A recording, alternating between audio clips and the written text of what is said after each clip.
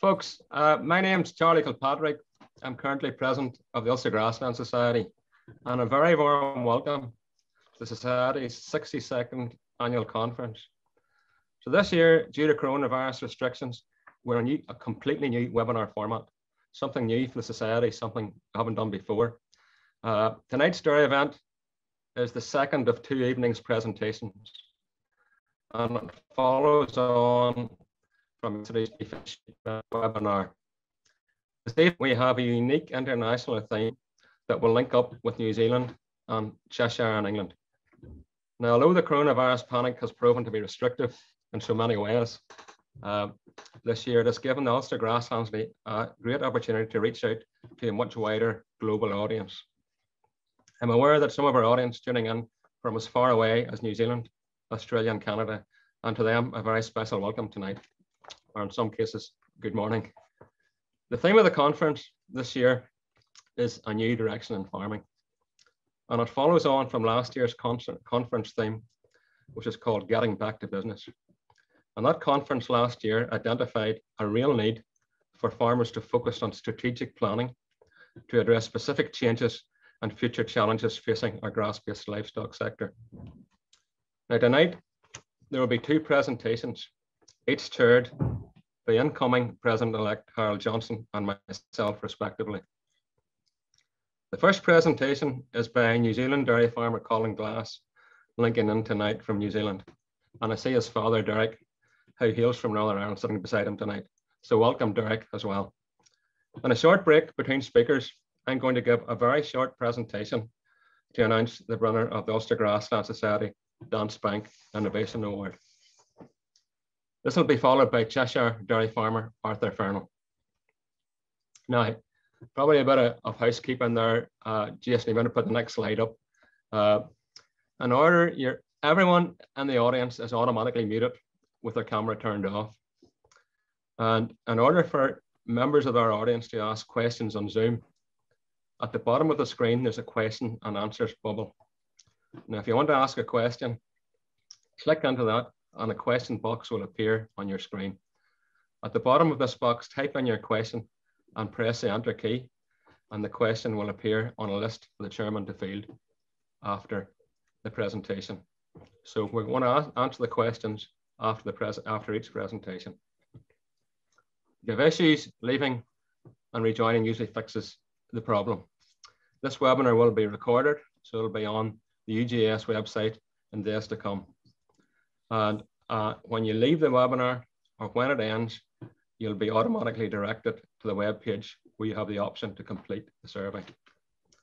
So without much more ado, I'm going to hand over to incoming President-elect Harold Johnson, and he's going to share the first presentation. Thanks, Harold. Okay, thanks, Charlie. Uh, thanks, Charlie, and uh, good evening, everyone. Um, they say it's an ill wind that blows no good and the ill winds of COVID have changed plenty in our lives this past year. It has, uh, however, forced us to change the format of this conference, as Charlie, our president, has said. But the silver lining is that we have been able to access renowned international speakers. So, Colin, the Ulster Grassland Society is delighted and privileged that you are able to join us tonight. As some of you may well know, Colin's father's family originate from County Antrim, and emigrated to New, New Zealand in 1956. I see Colin's uh, father, Derek, is also tuned in tonight. So uh, a very big Northern Ireland welcome to you, Derek, and to the rest of the Glass family. Colin owns and operates a 650 cow dairy farm, and on two further irrigated properties, he rears and finishes bull beef at Methven in mid Canterbury with his wife Paula and their two daughters. Colin is also Chief Executive of Dairy Holdings Limited, which has extensive operations throughout the South Island, and he's going to talk about that to us tonight. He's a director of uh, several agribusiness companies and is currently chairman of Ashburton Lyndhurst Irrigation Limited. Um, he's going to give us an overview of New Zealand agriculture. He's hopefully going to touch on costs of milk production and environmental issues for New Zealand farmers. So, Colin, over to you. Thank you. thanks very much, Harold, and it's certainly a, a, privilege to to be here. I was going to say tonight, but it's this morning our time. At the moment, we managed to get our jobs done early, and Dad was just telling me before that uh, that today marks the anniversary of uh, of the Glass family's arrival in New Zealand, as Harold said back in uh, back in 1956. So it's certainly been quite a journey for us. In fact, with the Harold, you mentioned the challenges of COVID, and uh, that's something that we can personally relate to because we're actually planning a trip back to Ireland last year, and uh, so COVID put uh, put pay to that. But at least through this technology, we're able to catch up tonight. So thank you very much for having us. So as uh, as Harold mentioned, uh, I'm, I'm, really just going to pray, uh, pay very much a lay overview of our own farming operations at Methven, a quick overview of dairy holdings operations throughout the South Island of New Zealand, touch on some of the things in the wider New Zealand dairy industry and the trends and challenges that we're having on a number of fronts, including water quality and methane. So, uh, Jason, if you'd like to flick to the next slide. So, in that map of the South Island, you can see the uh, the red uh, the red star inland from uh, inland from Christchurch there marks the spot close to uh, close to Methven where our farming operations are, and that's the the farm that uh, that Dad and his brother uh, purchased in the early 1960s at Methven, and we uh, we farmed together through a through a family company there with with mum and dad and Paula and I uh, with our uh, with our dairy farm just down the road from those um, from those first farms.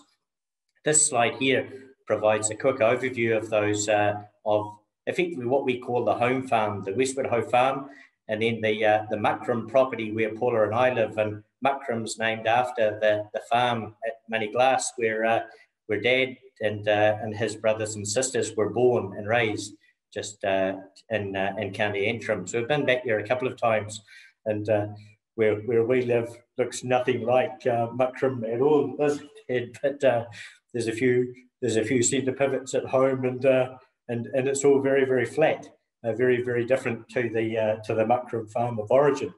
But um, but the, uh, the, the, the farms at Methven are, are, are pretty simple by New Zealand standards. We've on on 310 hectares, four centre pivots, and it's uh, it's unique in that it's a bull beef operation.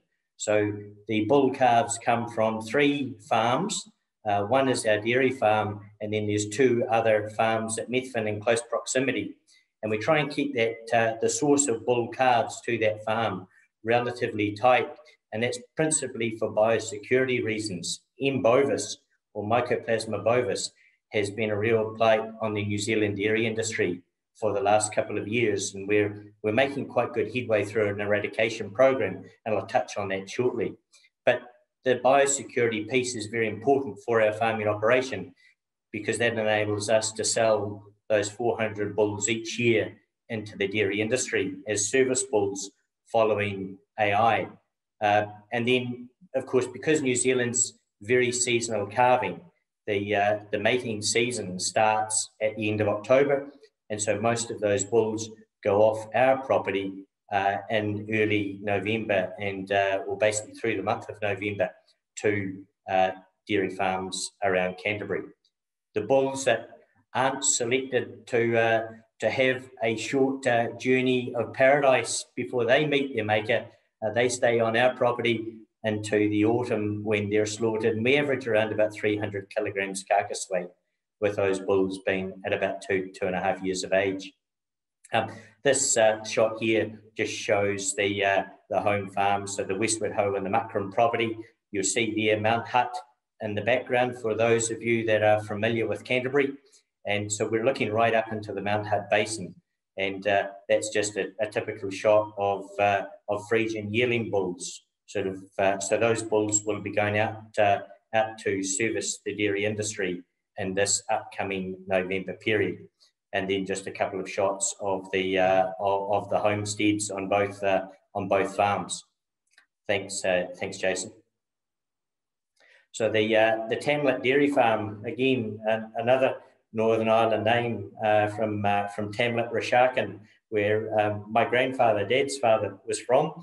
And uh, so this, this dairy farm is within a stone's throw of the two other properties. This is where uh, we run what has been this year, we've been milking 670 crossbred cows, or in New Zealand, we call them Kiwi cross cows. So that's a Friesian Jersey cross. And uh, if anything, that's it's erring a little bit towards the uh, the Friesian. So what we refer to as uh, as probably an F10 to F12 uh, cow, and um, and so we're producing about 280,000 kilograms of milk solids. Uh, so just over 1,500 milk solids on the milking platform. Uh, we uh, winter about two thirds of those cows on the farm on fodder beet, and our only purchased feed is uh, for this season has been 54 tonne of palm kernel that comes from uh, comes from Malaysia, and uh, that's quite unique in New Zealand because our level of supplementary feed here is incredibly low. On average, New Zealand has really lifted the amount of supplementary feed purchased per cow in the last decade. It's gone from being close to nothing to on average last year was just on 1,000 kilograms per cow. So you've seen quite an intensification of the New Zealand dairy industry as, as effectively our milk price has come up to the same level as, uh, as most other exporting countries in the world. So that's brought a real change in the, uh, in the dynamics in our industry. But for our farming business at Methven, our focus is very much on pasture and we only purchase supplement when we absolutely need. And typically that's to get through a pinch in spring which will be right at the end of August, early September, just as we're uh, right at the height of calving. Um, probably the other unique thing for us is uh, we've got a Filipino couple uh, that are uh, contract milkers. They've been on this property since we purchased this farm back in 2016, and um, and they're a couple of real champions for us. So uh, they're not scared of uh, of working hard, but at the same time, They've got uh, a real happy-go-lucky nature, um, which is quite testament to the uh, to the Filipino culture. And Filipinos make up now about one quarter of the New Zealand dairy farm labour force, so quite important for us. So New Zealand's ethnicity has massively changed in this last 15 years. Just a couple of shots again there of the dairy farm. So again, you see Mount Hutt in the distance above the fodder beet crop there on the left-hand side, and we'll typically average around about 23 to 25 tonnes of kilograms of dry, uh, sorry, 25 tonnes of dry matter per hectare. Uh, and like I say, about just on 20 hectares of fodder beet on our uh, on the dairy farm itself, winters about two thirds of the cows, um, with the balance of, uh, of cows going up to where we graze our, uh, our heifer calves during the rest of the season. So everything's all carved at the end of September. Just moving now to Dairy Holdings. So Dairy Holdings is, uh, so this is my day job, if you will, uh, when I'm not uh, plodding away on the weekend up at Methven and uh, with, uh, with Paula, uh, dad and the family up there. And so Dairy Holdings is, uh, is all South Island based. And you can see from this slide here that we're in four locations.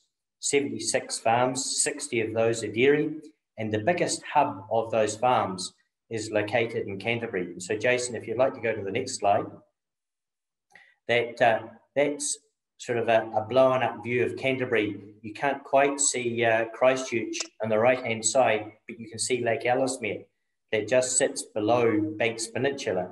Ashburton, uh, actually, where we're, uh, we're, we're um, based for this, uh, this Zoom webinar is right in the middle of the screen. And you can see most of the dairy holdings farms around Canterbury there are located on the north side of the Rakaia River.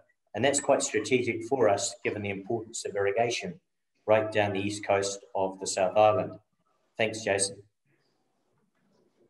So uh, Dairy Holdings uh, traces its start back to the, the, uh, to the effectively the, the break of the new millennia.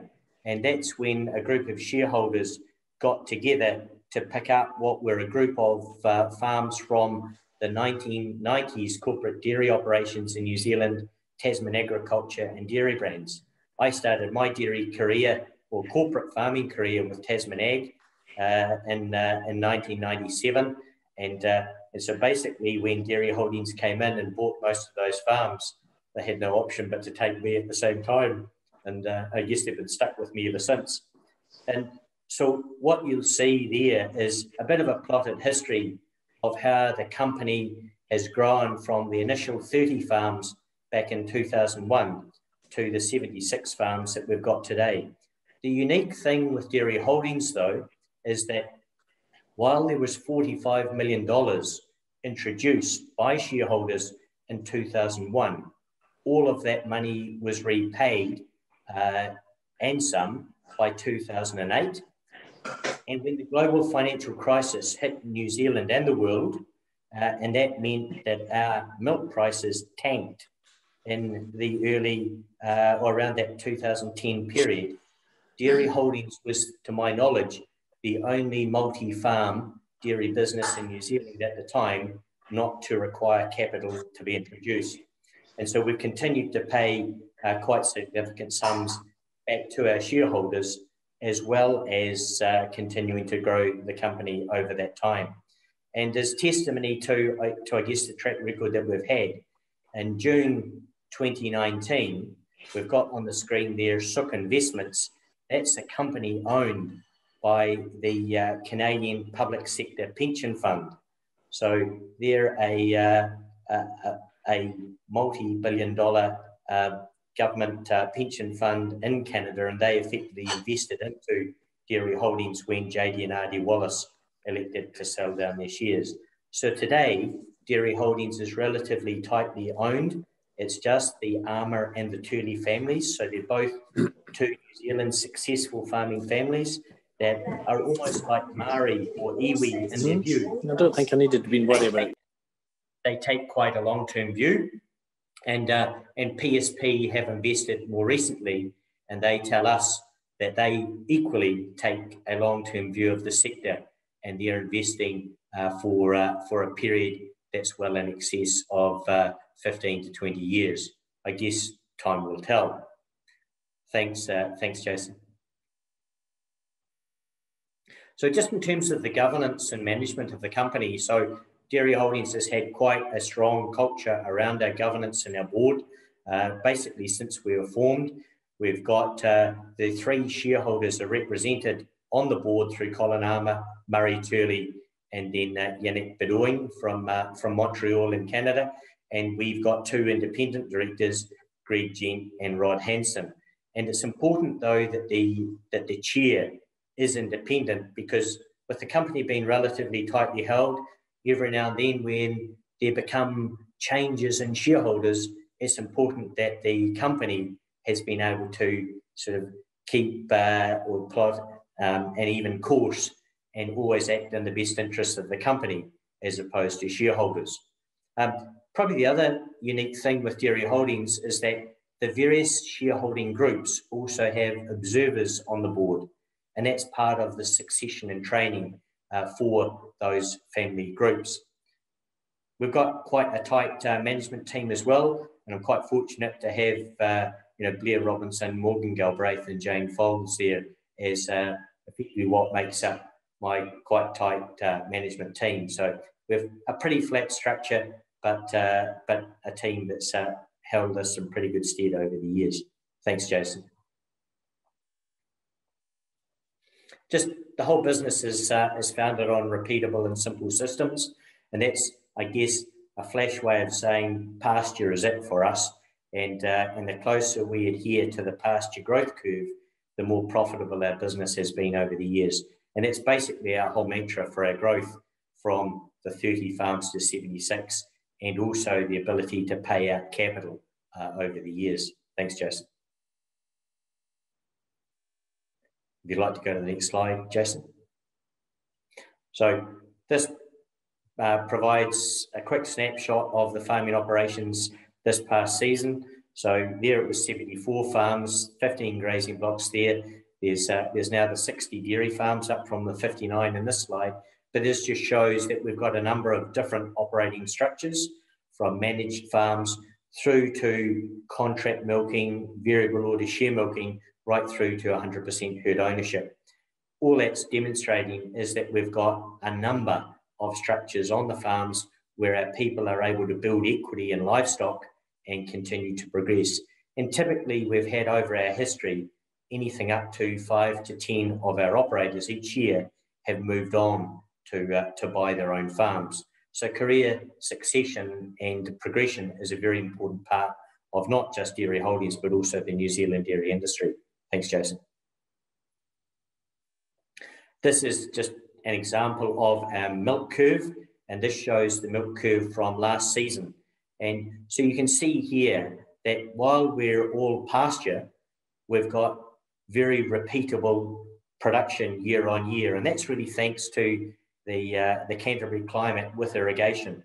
And you can see that subtle changes in climatic conditions uh, get presented through very subtle changes in those milk curves. At the end of the day, though, those changes don't change too much at all. So thanks, Jason. Uh, and again, just demonstrating that career progression, progression system, what this is showing on this slide is the total of 50 odd thousand cows across the dairy holdings business. 15,000 of those are owned by our operators on farm. And testimony to that career progression structure, you'll see this slide shows a bit of churn between those various operating structures as people come and go and progress. And we need movement. We need people to be successful and to progress because that enables us to attract the best and brightest to operate those farms the next season. So, interestingly enough, that there's about 3,000 cows are bought by our operators each year. Just moving now, thanks, Jason, if you keep going to the next slide. So, this slide here, just moving on now from dairy holdings to the wider dairy industry. So, the dairy industry in New Zealand has, as you can probably imagine, has enjoyed really unprecedented growth over the last two decades. And uh, but at the same time, the number of dairy herds in New Zealand continued to contract. If we were looking at this slide from 20 years ago, you'd see that the quantum of milk production in New Zealand from the South Island would be pretty negligible. Most of it would have come from Waikato, so that's the light green area in the North Island, and then the uh, the grey area in Taranaki. They would have meant they would have made up by far the uh, the greatest proportion of New Zealand's production. Today, most of New Zealand's milk comes evenly from both islands, and Canterbury last year surpassed Waikato, and Southland has now surpassed Taranaki. And I guess being South Island and being very parochial, uh, that's brought about a real change in the industry and it's brought quite a business focus in the industry as the herd size has dramatically increased. The size, the financial size of dairy businesses has forever changed. And so it's now no longer just farming businesses, sorry, family businesses that make up the industry. They're now quite significant family businesses that have um, a lot of professional operating structures and governance structures around them as well. Thanks, Jason. So this slide here just demonstrates for New Zealand the challenge around operating profit. And because our operational returns or our milk price has bounced all over the show in recent times, it means that we've always got to have an eye on our cost structure. So quite often at an industry good level, our focus is on what is the break-even milk price. What this slide shows is that in the uh, the 2015-16 season, when the milk price in New Zealand dropped below four dollars from record highs in the years prior, the New Zealand dairy farmer had an ability, probably unlike any other in the world, and again I'm biased, where they can put their checkbook away, hanker down, and survive a downturn. But what you also see in this slide is that, like farmers all over the world, when our milk price lifts, our farm expenses tend to lift to match it. And so since 2016, we've enjoyed very, very stable milk prices. And this year, Fonterra's recently announced an indicative milk price for the 2020-21 season of $7.20 per kilogram of milk solids. So we've enjoyed very stable earnings for the last four years, but what that's meant is that our costs of production have continued to eke up as an industry. And last year, not shown on this slide, but last year the DairyBase data set in New Zealand uh, suggested that the New Zealand break-even milk price was now $6 per kilogram of milk solids. The issue here, though, is it's not the average, it's the bell-shaped curve. And even we're told at a $7.20 milk price, 15% of New Zealand dairy farms are not able to make interest and principal repayments. Now, for some of you on this uh, webinar, that might be alarming. Actually, in New Zealand, that's quite a healthy level because when you've got that amount of pressure being applied, that creates opportunity for the next generation as well. The issue for New Zealand is can we strengthen our balance sheets enough to withstand the challenges that I'm going to talk about shortly? Thanks, Jason. So just moving quickly now through the, the trends and challenges. Thanks, uh, Jason. We'll keep moving quickly now. So this uh, slide really just touches on the M. bovis challenge that I mentioned previously, and New Zealand's making very good progress at eradicating Mycoplasma bovis from New Zealand. It came in here in 2017. The source, we're not quite sure, but what we do know is that now there are only 10 properties that are confirmed positive, and they have now been depopulated. That's the very polite term from being, for being culled uh, over these last couple of months. And so at the moment, New Zealand is moving quickly to eradicate. We won't know exactly when we are free from the disease, but they tell us that continual testing over this next 10 years will just simply wake up one morning and the disease will be absent. So it's quite a positive story for New Zealand, not just around the fact that we've had systems in place that have been able to eradicate this disease, but it's really built a lot of trust in our markets into Asia because we've been able to show absolute traceability back to the farm gate. The other part on this slide really just touches on the challenge around carbon and methane. And that's where New Zealand is aiming to be carbon zero by 2050. But we have a split gas approach in New Zealand, and our methane reductions are quite different to our carbon reductions. And methane is targeted to reduce to, uh, by 10% by 2030, and then within that wider range of up to 47% reductions by 2050. What exactly they are still remains to be seen. This slide here just shows the growing debt in the New Zealand dairy industry. And uh, the, uh, the, the slide or the graph there rather shows the total amount of lending to agriculture. Dairy last year made up $40 billion of that total agriculture debt. The interesting thing though is that last year dairy paid down $2 billion of that. And this year, we're on track to do the same again. So while New Zealand has what many would call relatively high levels of gearing in our dairy industry, most dairy farms in New Zealand are now aggressively paying down debt for what has been a real change, given that many farms were simply interest only payers up to about five years ago. So New Zealand is refinding its profitability very quickly, but it needs to. Thanks, Jason. Just touch on this slide quickly. It's talking about immigration and the fact I alluded to earlier that we have quite a number of Filipino, Indian, and other Southeast Asian uh, workers on our farms in New Zealand. COVID's brought a real challenge in this space, but as well as that, the New Zealand government is very focused on reducing the number of short-term uh, visa holders, you know, those on working visas to New Zealand. So even though COVID has brought this uh, home to us, even when we get past the restrictions internationally, it's unlikely that New Zealand's going to get any reprieve and the gates are unlikely to open for migrant workers coming into New Zealand. What that means is that all businesses in New Zealand are having to be employers of choice. We've really got to excel because there is a real war going on for labour in New Zealand. Thanks, Jason.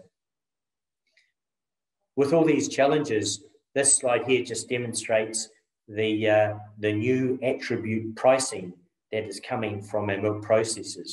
Fonterra have its rewards and recognition, or it's just been rebranded in the last week, their cooperative difference program.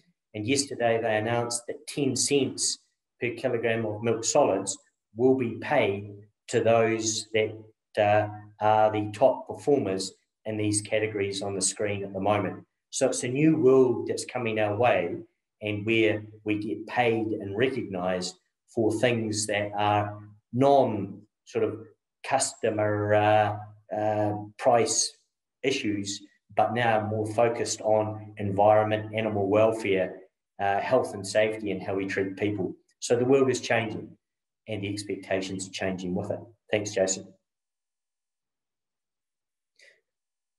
So for New Zealand, that just really highlights the importance of pasture in our business. It is our international point of difference. We know that New Zealand and Ireland, and especially Northern Ireland as well, that this is the bit that resonates with most. It resonates with our customers and it makes us different from the rest of the world.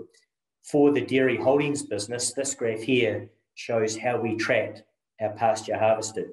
And irrespective of any farm's milk production levels, the higher the amount of pasture we harvest per hectare, the higher our profit. In other words, for us, profit is sanity and production is absolute vanity. So we look at our pasture ability more so than what goes in the milk vat.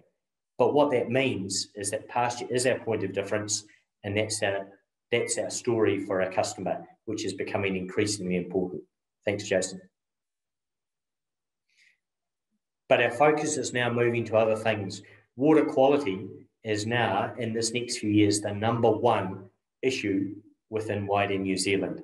And I've got a couple of graphs here that, if, if you're able to see them, this looks at water quality levels of some major European rivers.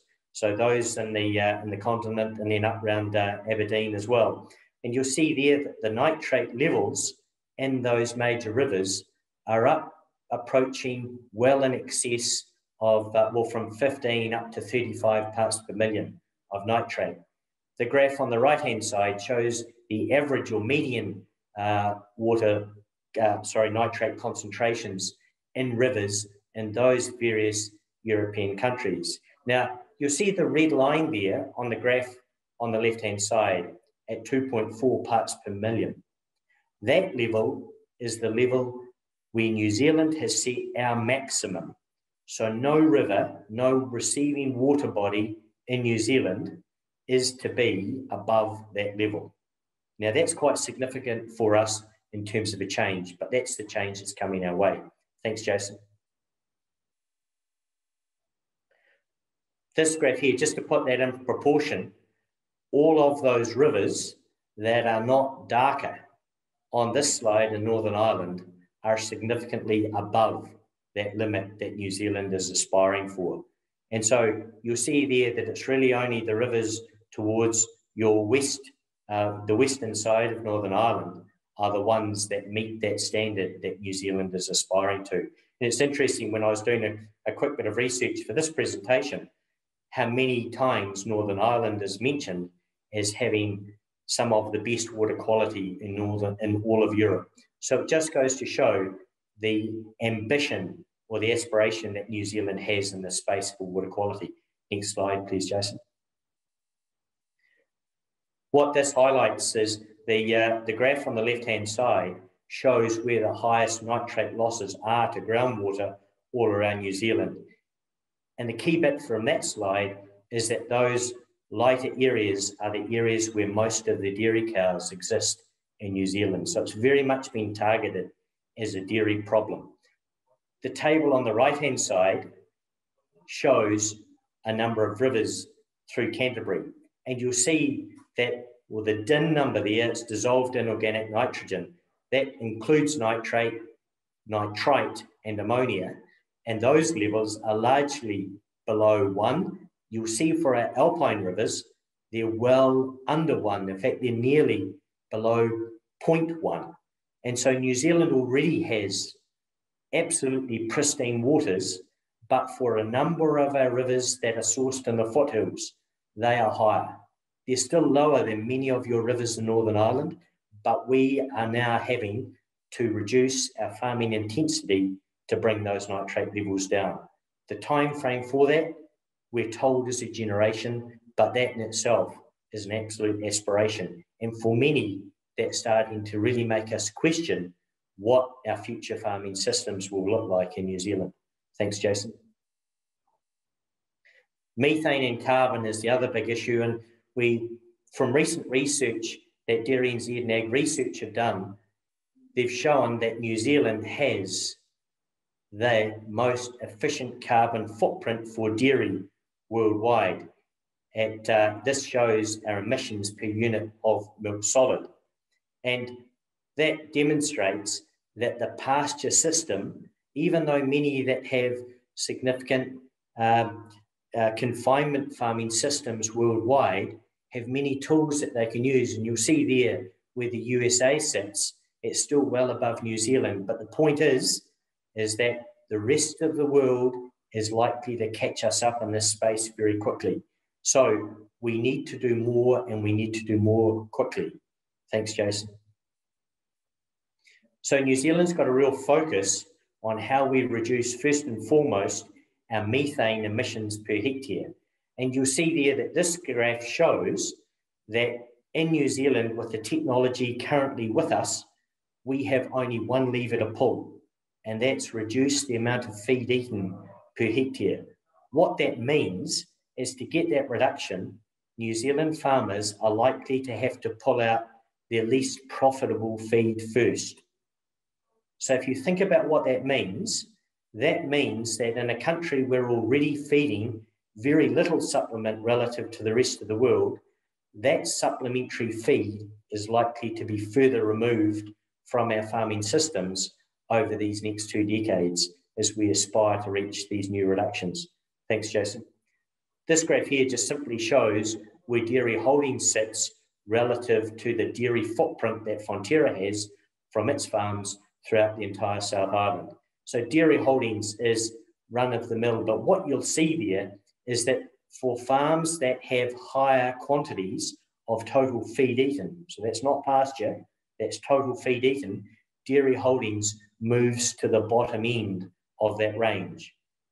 And so we believe that the pasture model that we're pursuing is where New Zealand is effectively having to go back to the future for how we can meet our methane reduction targets for the year ahead. And this slide here shows where we're sitting for a dairy holdings monitor farm and a, a project group that's been put together in central Canterbury, where we're aspiring to have higher levels of profitability, but with a lower methane footprint per hectare. So it's really challenging our farm systems where we're having to look at what are the different drivers of our profitability. So it's no longer about production. It's now all about profit for the lowest possible environmental footprint we can have. Thanks, Jason. This slide here simply goes the next step and looks at nitrous oxide. Now, nitrous oxide sits in the carbon bucket. So again, New Zealand has a split gas approach. So carbon and methane are treated separately. Nitrous oxide is part of carbon. So for us to reduce our carbon footprint in the future, we have no option but to pull back the amount of nitrogen fertilizer we're using on our pastures as well. So who would have thought that New Zealand would be regarded as being having you know, effectively moving so far away from what has been our core over a generation. But now we're having to go back to our historical systems, but do that with new technologies and do it well. Thanks, Jason. So this is the pathway that's been set for New Zealand. I won't go through it in any detail, but it simply shows that by uh, 2030, we must be making significant reductions. And New Zealand is effectively the country that's having to move down this pathway ahead of many other agricultural countries around the world. Thanks, Jason. So in summary, Yes, New Zealand has a, has a huge reliance, thanks to COVID, on agriculture, more so than we've had in recent years, but we've got some real headwinds, largely around uh, essential freshwater and also around carbon emissions. My belief is, is that that is and will be our competitive advantage for some time to come, and it presents a unique opportunity around pasture that's actually quite exciting. Our focus is more around profitability and environmental challenges than ever before. And actually, when New Zealand has a challenge like that, history tells us that we can adapt faster than most other farming businesses worldwide. So, our view is yes, it's going to be tough, but this will actually be the bit that can set us apart again in the future.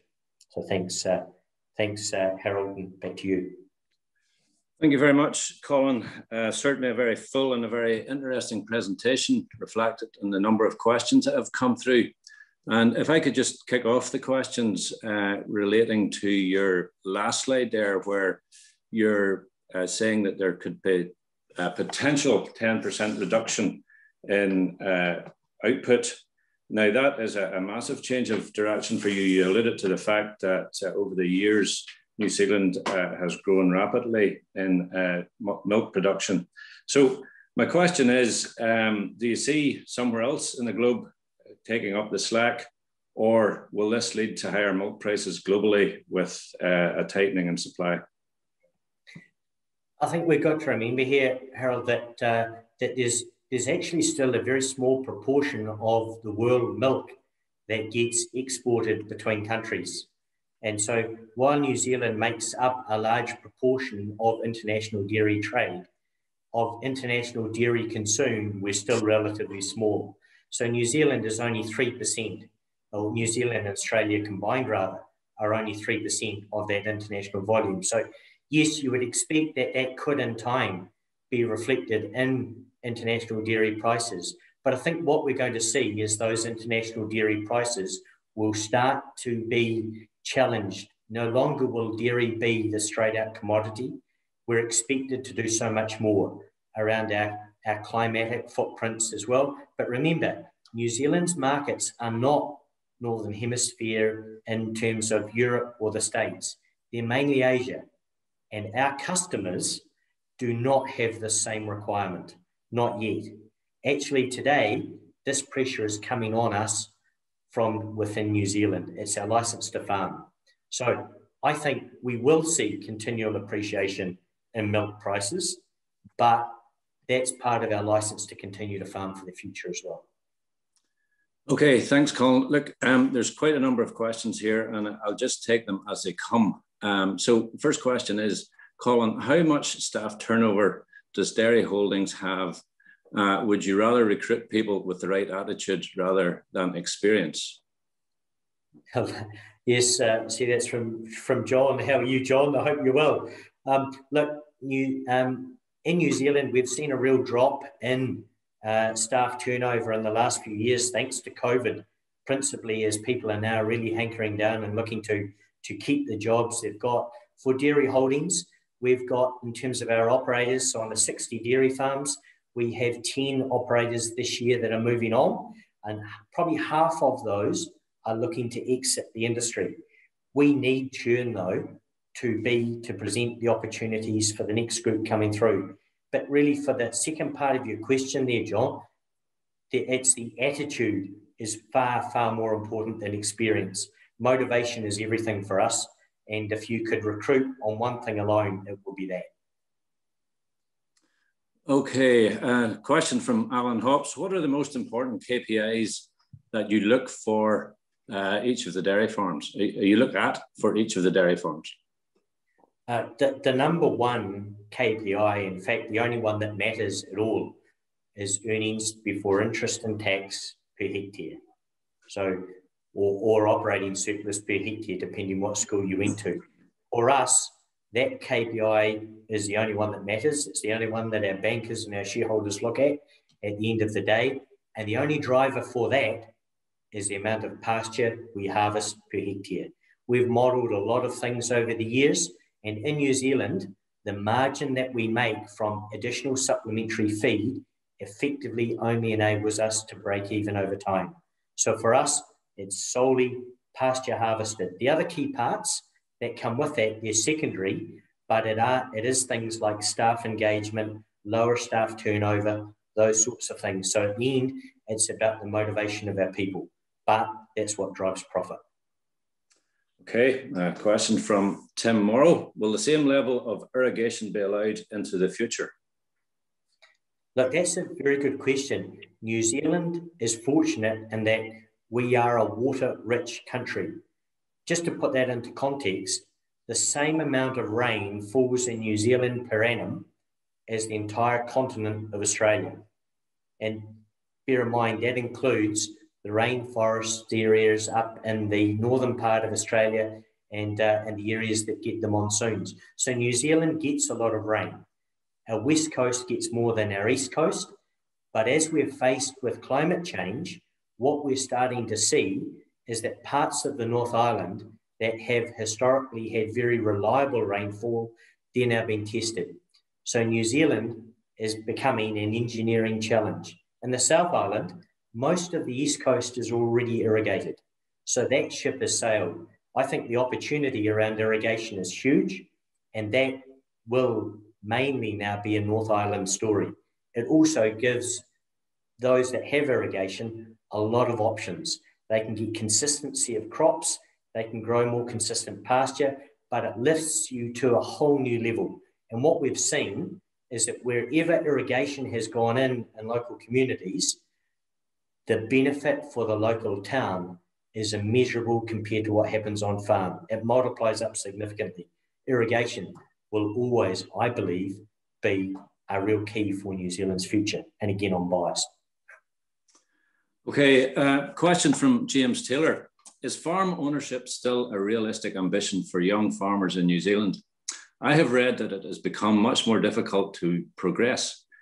If this is correct, what are the reasons for it and what is the key to achieving farm ownership? I, I, I should really let my father answer this question because as I've grown up, the story that I have always been told is that farm ownership wherever you are, but particularly in New Zealand, is possible, but it's only possible if you have a singular focus, you're prepared to knuckle down, make personal sacrifice, and you've got real goals and aspirations to get there. Those that think they can sleepwalk their way to farm ownership never ever get there. And my belief, farm ownership, I believe, is more possible today than it has ever been. And the reason why I say that is because New Zealand has more challenges than we've ever had. Wherever we have challenge, you have people that lose their will to stay on the journey, and that creates the opportunity for the next generation. New Zealand's dairy earnings are now for top operators as strong as I have ever seen in my career in farming.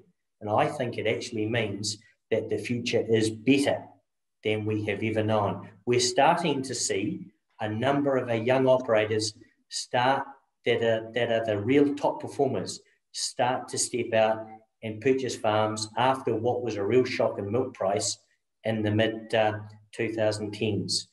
I think the outlook here is really bright, but there's only a small group that will ever make it. And that's that's great. That's the way it should be. Okay, um, look, due to time constraints, I can only take a couple of more questions and I'm taking them as they come to me. Uh, so a question from Jason McMinn. What costs specifically would have been saved between 1415 and 1516? The, the main cost that New Zealand farmers breathe in and out on in their business is typically feed and grazing. And so when the pressure comes on, farmers simply feed less. And in many cases, that's reducing stocking rate to optimize the amount of feed that's fed per hectare. So that's the first lever that gets pulled. The next lever is repair and maintenance spend. So the discretionary things that you do on farm tend to stop. So people hanker down and they make do, they live on cash. And then ultimately, when the squeeze really comes on, that's when you've got other farm inputs that people tend to look at. For us, the last thing you ever pull back on is fertilizer. That's your key for the future. So every there are there are lots of those other levers first that we would ever touch. Okay, um, a question from Harper Kilpatrick, and I believe that's coming from Australia. And uh, Colin, how does New Zealand Dairy plan to reduce methane emissions? And we have to make this the last question, uh, as I say, due to time constraints. I should be, uh, this should be painted, uh, Harper, but um, in terms of New Zealand step in the next period of time, the initial easy win is to pull out less profitable feed in the farm business. That brings the total quantity of feed fed down. But to get the next step of reduction after that, that's where it's a whole lot harder. And this is where the whole world is looking at what's that silver bullet. And there's things like uh, different methane emission levels from different feeds. So our brassicas have lower methane, uh, give off lower methane than other feeds. We've got other things with vaccines. We've got methane inhibitors. And so already we know that for confinement farms, there's the opportunity for feed additives that can already be used. For New Zealand, there's no silver bullet. And the other bit is, is that GM, we're not allowed to do that in New Zealand at the moment, but New Zealand is investing in off or overseas research in this space to see whether our pastures or our grasses and our clovers can produce milk with lower uh, methane emissions as well. So there's quite a number of things that are being looked at, but we don't have to solve this in one day. We've got a generation to do it, but we do need to be making significant progress uh, by 2030. So we've got a classic phrase that we are increasingly using in New Zealand is that we've got to be on the journey, but panic slowly. And so I think the opportunity is still really sound for those that can get there, but if we can keep our heads and make simple progress year on year, when we look back in the rear vision mirror, we'll actually be amazed how far we've come. Okay, thanks, Colin. Um, your contribution to our conference tonight has been fantastic. The questions, uh, as I say, came through thick and fast there. There's still some which are unanswered, uh, but unfortunately, we have to move on. Um, hopefully, you'll stay with us for the rest of the conference. And I'm now going to hand back to Charlie, our president. Thank you, Colin. Thanks very much, Harold. It's been a privilege. And I'll try and answer most of those questions uh, over the uh, chat in the next few while. Thanks, Harold. That'd be great. Thank you. Harold, thanks. Colin, thanks for a brilliant presentation. I'm sorry I have to wind this up. I'd love to get you back because there's some great questions and great discussion going there. But when we're Arthur sitting on the sidelines here, and he's probably getting a bit anxious. Uh, before we move on, folks, to our next speaker, um, I want to take five minutes to talk about the Ulster Grassland Society Innovation Awards competition. Um, due to the coronavirus restrictions this year, the Society was unable to run its annual Grassland Farm of the Year competition.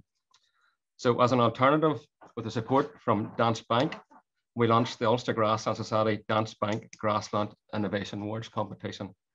Uh, this has allowed us to do things without obviously going on to farm. Uh, sponsored by Danske Bank, the awards are seeking to celebrate all things innovative by capturing the on-farm inventions and ideas that are helping local farmers to be, be progressive and efficient. Applications for the competition took the form of a short video and the scope of the competition allowed for a wide range of ideas to be submitted. From novel devices for grazing infrastructure to different ways of managing grazing or establishing swards to new methods for monitoring animal performance. So we had a wide range of entries, and I'd like to give thanks to those members who submitted videos. The quality was a very high standard, but unfortunately, we weren't able to show the videos tonight, but the winning and commended entries videos will be made available on the Ulster Grassland Society website in the coming days. Now, due to the format of this event, we, we can't have an official presentation, which we would usually have for the Grassland Farmer of the Year award, but there will be some press coverage about this in the next few weeks to give you more detail of the winner and what was what was submitted. So this tonight, it's my pleasure to announce that Kilkeel beef and sheep farmer James Henderson is the overall winner. His innovation looked at how new technology could be used on his farm to easily provide increased information on animal performance and to aid decision making on his beef and sheep enterprise. There are also two highly commended entries, and those were from dairy farmer Albo O'Neill and dairy farmer Andrew Wright. Uh, well done, folks, and hopefully you'll be hearing from you in the future. Now, this uh, competition took a lot of work, and especially I must, on behalf of society, give thanks to the work of Dr. Debbie McConnell at AFBI for leading this competition and making it work, and also especially to Rodney Brown of Danske Bank for sponsorship. Thank you very much, folks. And hopefully we'll hear about that in the near future. Now, on to oh, onward with tonight's uh, agenda. Our next speaker uh, is Arthur Fearnell. And there's a connection here with Northern Ireland. And the guy from Australia was asking the question. Believe it or not, Arthur was his best man. So Arthur's been in Northern Ireland a few times. And I think the last time I heard him speak was at a best man speech at uh, the hotel in, in Newcastle. So Arthur is a ninth generation dairy farmer. He's milking 400 crossbred cows on the Cheshire Plain. He runs a predominantly grass-based system, looking to maximize milk solids from herd health. He's an Arla member and has an Arla UK 360 milk contract. In 2004, he undertook a Nuffield scholarship entitled Attracting the Next Generation into Dairy Farming, something which is close to his heart now that his youngest son, Edward, who currently studies agriculture at Reading University, is considering a career in dairying. Arthur has always been an active member of the Arla Democracy and is currently one of two UK farmer directors on the Arla Foods Amba board, representing the interest of the UK members. He is the Arla UK area chairman, and until recently, he was a board member of Dairy UK. Arthur, you're very welcome, and I'm going to hand over to you for the next 25 minutes or so. Thank you. Okay, thank you, Charlie. Um, I hope you can hear me okay. Yep. And yeah. just to say, um, it's, it's a great honour to be invited to speak uh, on this virtual conference. Um, and also, just to say, I've got very um, fond memories um, of my visits to you and your family, uh, mainly in the 80s, to be fair. Uh, as, you, as you say, I was best man to your brother, and it's good to see that he's on this, uh, on this conference. And I'm sure you'll have an awkward question for me later and I actually owe him an email. He did email me at Christmas with his news, and I haven't emailed him back, so uh, it'll it'll um, it'll get done. Um, also, just to say um, that more recently I've come across John Dunlop, um, who I'm sure some of you will know well. Um, he and I uh, shared a seat at the Dairy UK Farmers Forum. Uh, a great guy, got to know him well. Uh, and, and, and I was fortunate from that forum to get voted onto the Dairy UK board uh, and came across Nick Whelan um, and Michael Hanley, um, CEOs of your of your local dairy co-ops, uh, and I think you're blessed with some very capable people uh, in charge of your uh, in charge of your dairy industry. But just moving on, if you can just move on the slide, please. Just a little bit um, about me. Um, yeah, I'm, I'm actually ninth generation dairy farmer. It does say eighth there. Um, so I farm on the Cheshire Plain. Um, we have um, about 410 crossbred cows. We farm on heavy clay, um, which means that um, I have to house my cows during the winter months. So I have the cost of cubicle sheds and silage and silage pits. So um, I need output to sort of um, pay for those extra costs during the winter months. But I'm quite unique in Cheshire that I do continue to graze pretty much for as many months as is possible throughout the grazing season, whereas many of my neighbours, um, for many different reasons, have chosen to um, go fully housed. And there's a lot of my close friends and and and close neighbours who are milking three times a day. Um, you know, sort of 12,000 litre yields.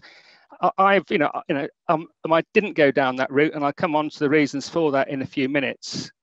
Um, I'm a tenant um, I'm a tenant on the Grosvenor estate, uh, so the Duke of Westminster, um, and he has links, his family have links back to Northern Ireland, as I'm sure you're aware. Um, He's a great landlord. Uh, on the home farm here, uh, I've got what we call an AHA tenancy. That's a three generation tenancy. Uh, I'm the second generation. So by, by rights, my son Ed, if he wants to farm, um, is entitled to take the tenancy on with no questions asked. Um, but more recently, I've expanded the farm. I've been very fortunate. Um, a farm next door came vacant. Again, it was um, the same landlord uh, I said, could I farm it? And they said yes. Uh, so um, I took on the farm next door.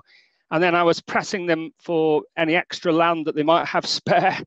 And just by chance, they bought my neighboring farm and offered it all to me. So I've just been incredibly fortunate um, that this land has all become available over the last sort of 15 years or so.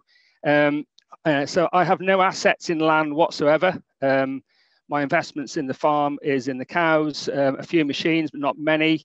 Um, I've had to build a few sheds to, uh, to house the extra cows. Um, and what that means, instead of sort of paying down finance um, and loans, um, I've been able to invest off farm. So um, I have got some non-farming investments, uh, which you know makes life interesting.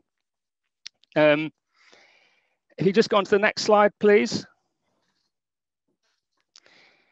Yes, so um, I'm I, am i am different to my neighbours, and I think the I think the reason for that is, um, as Charlie said earlier, that um, I was fortunate to win a Nuffield scholarship um, 15 years or so ago, uh, which took me, like many Nuffield scholars, to uh, to Australia and New Zealand, um, and actually Denmark. I had three weeks in Denmark and Hungary, um, and I was looking at sort of well farming systems simple enough to attract the, the, next generation. But clearly, on these trips, you look at all sorts of farming, know, dairy farming activities. And um, I came back with, I think, four key things that I knew I had to change. At the time, I was sort of pushing for yield. I had Holstein cows. I was sort of pushing for 10,000 litres on a on on on a graze system. Not surprisingly, the and the wheels were dropping off because it's very difficult to keep you know Holstein cows um, healthy on a graze system. And I came back with some key messages. And firstly, uh, you know that if you're going to continue to graze cows, don't graze Holsteins because it doesn't work unless you're an, an excellent operator. Um, so I said, right, uh, I need to change. Uh, so I had a decision to make. I either change the system to suit the cow, which is what my neighbours have done, and put them all indoors all year round, um, or I change the cow and I had dabbled with a few Montbéliardes sort of a few years before. So I made a, a decision at the time I was going to change the cow, and I'll come back to that in a minute. Um, I also recognized that um, I had to improve, improve soil health uh, because it was poor compared to elsewhere around the world, and that's what I've tried to do. Um, I also recognized that you know the rations that um, other other countries' cows are being fed has has um, well is a much healthier ration, uh, far more fibre, um, and and I changed my nutritionist and ration, um, and also um, I wanted to milk cows quickly. If you go to any country in the world where the owner of the business actually is still doing the milking, uh, milking times and milking parlours are such that milkings can be quick. Um, sort of un, in under two hours, typically in Ireland and, and and in New Zealand. Whereas if you go into the states where the owners aren't milking the cows, milking times aren't important and you know they go on forever. So at that time i was going to milk cows myself so i put in um, in a in a big parlor and again i'll come on to that. Um, i think um, it's also uh, important to say that um, in recent years um, i'm very fortunate again to have been uh, voted on to the board of Arla Amba. There's two of us in the uk uh, who sit on the board. That does take up probably two to three days a week well away from the farm pre-COVID, um, but actually all my work's done now from this desk on these sorts of calls. Um, and that's given me huge insight um, into in you know into dairying, into the business behind dairying, but also um, Arla I think is very much on the front foot when it comes to looking forward to what's going to going to happen in years to come. Um, you know, along the lines of Colin's um, thoughts, um, and I'm super excited uh, about what's coming down the road and the future. And again, I'll come on to um, on onto that. Um, so in terms of my on-farm performance, I'm sure there are better operators. My um, my yield from forage is about 2,900 uh, litres. You know, I've I've been higher. Um, uh, I've never actually hit the 4,000, which I'm a bit embarrassed about, but I'm sure some of you guys out there will do that easily. Um, yeah, current yield's about 8,500 litres, but the Arla contract pays purely on fat and protein. So actually, yield in terms of litres means little to me these days. Uh, we, you know, we're just constantly looking for fat and protein. And I'll be quite honest, my move to a crossbred cow has given me um, an awful lot more fat and protein, and I hadn't planned it for that reason, but it has been one of the biggest benefits of all of going to a, um, onto a crossbred cow. Feed rate at the moment is 0.33 kilos a litre. It cost of production's uh, 29p. That includes rent, that includes finance, and because I'm away from the farm in non-COVID times, I've had to take on an extra member of staff to cover my absence. So there's probably another one and a half pence per litre on their uh, extra staff cost than perhaps would be um, would be the norm. And then on this on this milk on this chart, finally, um, my current milk price is 33.35 pence per litre. Um, that's including 13th payment. We've just had a, a large ARLA meeting today, and our board of representatives um, have voted uh, a board um, recommendation to give a 13th payment of 1.75 euro cents per litre. So that is included in that figure.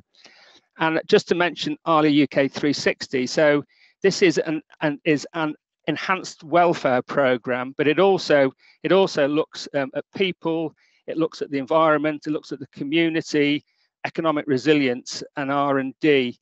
And that program um, is worth an extra 0.94 pence per litre to me. Um, I'm specifically linked to Morrison's, the supermarket, but there's a whole host of extra standards that I have to achieve for that 0.94.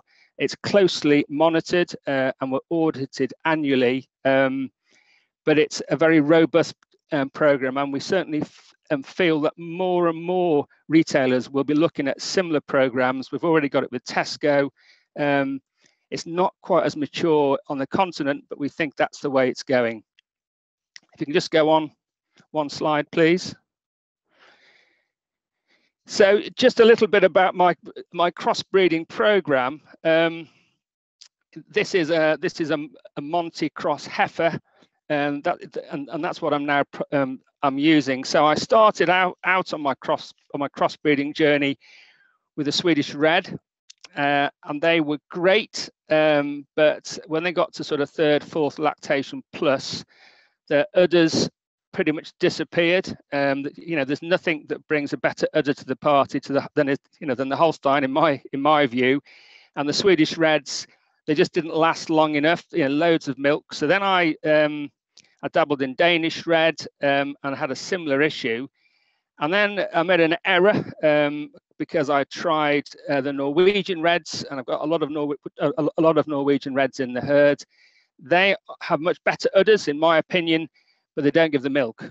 Um, so I was getting a bit frustrated. Um, I'd had a few Monties milking um, previously, so um, I've now crossed everything with a Monty. And just to be clear, my crosses are Montbéliarde Holstein, Montbéliarde Holstein.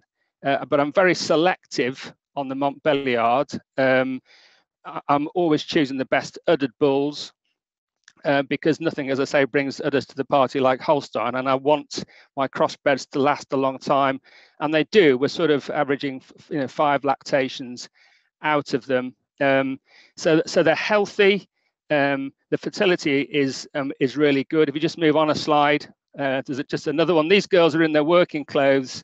Again, this one is a is a is um, is a heifer, um, you know, and and is a is a typical cross in my herd and just go on again, please. Just to talk a little bit about, about my herd health.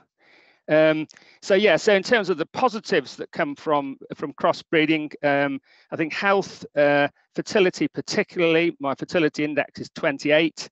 That's uh, conception rate um, multiplied by um, the number of cows seen bulling out of 100.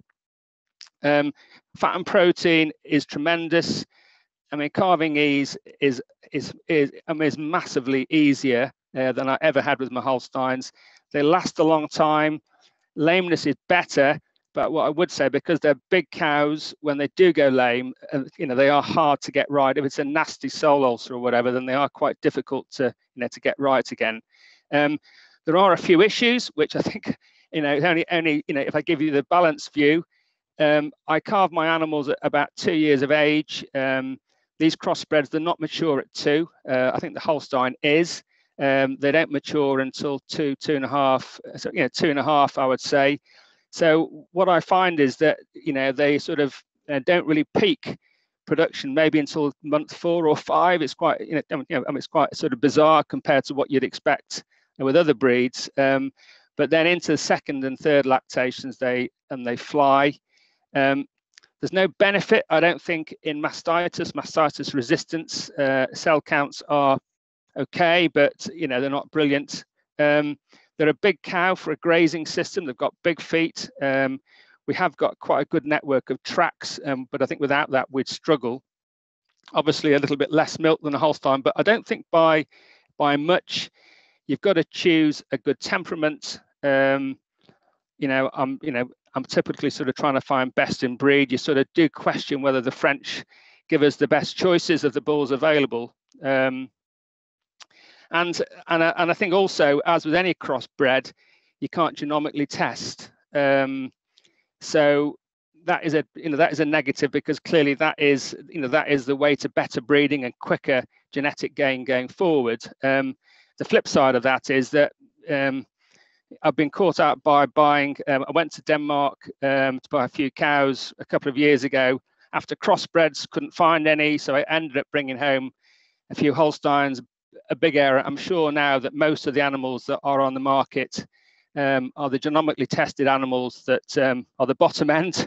These animals weren't great, uh, uh, you know, not a wise move. But of course, if you buy a crossbred, you know it hasn't been genomically tested because it, you know, because it, um, um, um, it can't be done, uh, and and therefore you're not getting somebody else's rubbish. You sort of, you, know, you're sort of buying what you see. If that uh, if that makes sense. I'm just conscious of time. Charlie's given me a big a big remit, um, and then he said, "Oh, only 25 minutes. Be done by then." So um, that's why I'm rattling through. I think just one further point on the crossbreds, uh, which I've never ever heard anybody mention this to me before, but we get quite a lot of what I call udder sores, udder cleft dermatitis. This is the nasty sore that's right up in the cleft of the udder. And um, and it, I guess like a lot of farmers, you know, we have them and haven't really thought too much about them. But one, I think about three years ago, one autumn, we lost about five cows and they all had pneumonia type symptoms. And we just couldn't work out what was going on. Um, until the vet found a paper um, that said that typically um, uh, Swedish and um, and Danish reds um, they're more prone to these udder cleft dermatitis sores, and what happens is is they often you know the sores are very close to the milk vein. Um, what happens is the milk vein you know if the sore is particularly bad, the infection gets actually into the blood the blood then goes into the lung of the animals where abscesses form, uh, abscesses burst. The animal's then breathing in and out this bacteria through her lungs, and the lungs get further infested, and it manifests itself uh, in, a, in a pneumonia type condition. Um, so what we do now is every month uh, on the parlour, we actually score the cows. We have a, a little a little torch on a on a mechanic's mirror, um, and we sort of look at the udders and if there's any nasty udder sores we treat them and the treatment's quite um, simple. It's just um, a spray with a, a terramycin spray. We just you know clean them up and then spray them with a terramycin spray. And we haven't lost any since but it's just it is an extra job. And you know apparently it is a, a typical issue with um, you know with that particular breed. Um, so if we can just move on uh, one again please Next slide. I think I mentioned uh, on my Nuffield scholarship that um, I think you just if you can just go back one, sorry. I mentioned that one of the um, things I wanted to do was to have pretty quick quick milkings. I did have a have a picture of a milking parlor somewhere, but yeah, so this is it. So just just out of interest, I put this in. I'll be honest with you, it's it's too big for my herd size, but the parlor I put in 15 years ago. Within five years, it was too small. We extended it. Within five years, it was too small again. And when I put the next parlour in, I said, I'm never going to have a parlour that's too small again. So this will probably take double the cows um, if, if, you know, if we do indeed double up, um, if that's what my son Ed wants to do. Um, but, but yeah, just sort of give you an, an, an overview. And then again, if we can just go on one slide. Yes, so so just you know, um, I'm just looking at the challenges and opportunities um, going forward, and you know, I'm I'm at a bit of a crossroads, I guess. Um, I'm 56. Um, I've got a son potentially coming home. Uh, Ed is um, is 20. Um, he's at Reading University, which is where I went and my wife went. he's studying agriculture. Um, and you you know and there's a very strong chance that uh, that he'll come home to farm. I don't want him home yet. He needs to go away. He needs to work. I think harper you might have a guest at some stage uh, in australia um, if that's okay. Um, but it's an interesting conundrum because um, not many people his age are looking at agriculture as a, as a career. Um, i mean for me i sort of i sat back a couple of years ago and thought you know do you know what I'm not going to invest anymore on my farm.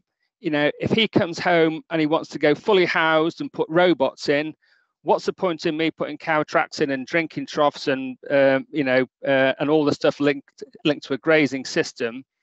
Um, and then I thought, you know what, I'm not going to sit back and not invest because, well, a it's boring, uh, and b you know, and b you've got to progress. So uh, what I did was well, I knew that subsidies were were on the way out, and that's what's going to happen. As you know, we're going to be paid less in subsidies. So I put up a new shed, um, 120 cows uh, in in that shed. I actually went out and bought cows. Some of these were the ones from Denmark. Bad move.